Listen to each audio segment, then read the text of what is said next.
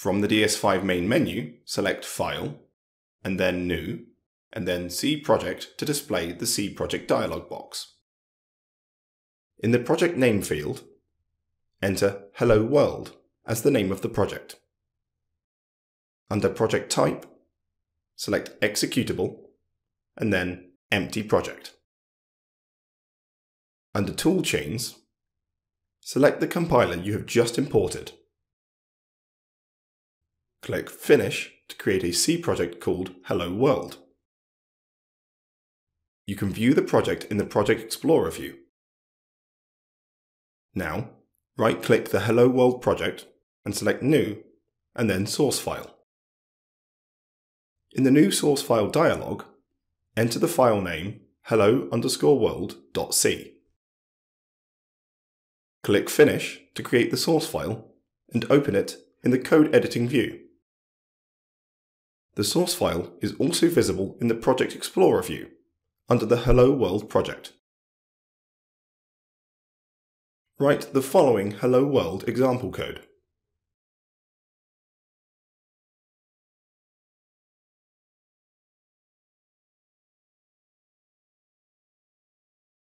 Locate your Hello World project in the Project Explorer view, right-click it, and select Properties. In the Properties dialog, navigate to C, C++ Build, and then Settings. Select all configurations in the Configurations list. Select GCC, C-Linker, and then Miscellaneous, and in the Other Flags field, enter this.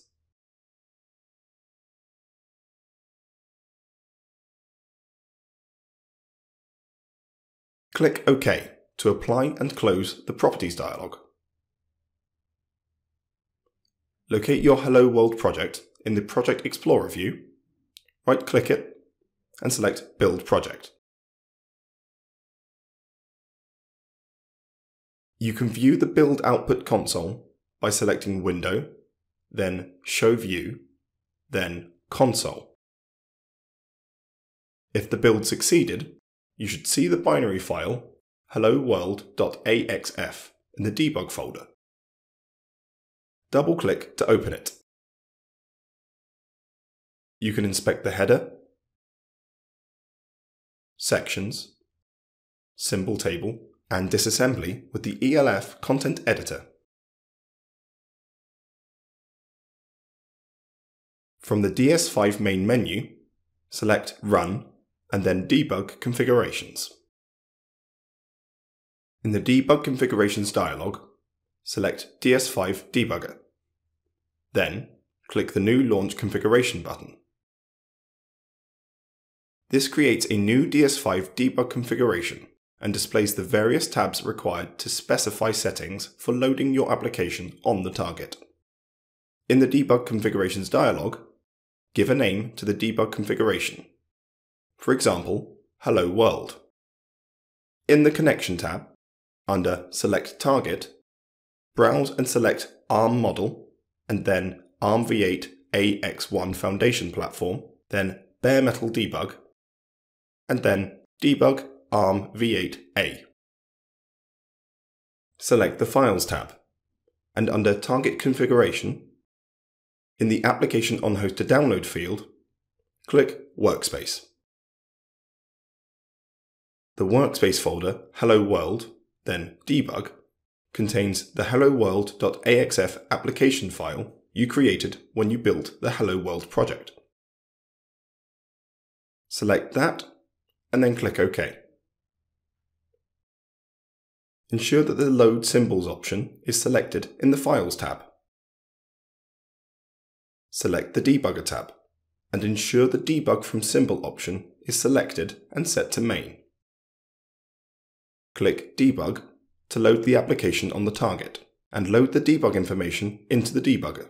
In the Confirm Perspective Switch dialog that appears, click Yes. DS5 connects to the model and displays the connection status in the debug control view. The application is loaded onto the target and is stopped at the main function, ready to run. The Commands view displays messages output by the debugger. You can also use this view to enter DS5 commands. The disassembly view shows the loaded program in memory as addresses and assembler instructions. The blue arrow indicates the location in the code where your program has stopped. In this case, it is at the main function.